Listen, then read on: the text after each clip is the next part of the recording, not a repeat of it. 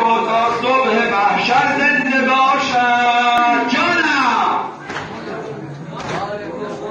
یاد تو تا صبح محشر زنده باشد.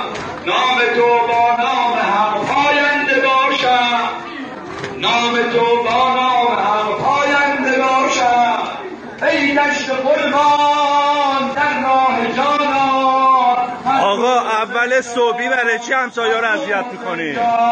داداش اول صبحی چرا سر صدا می‌کنی؟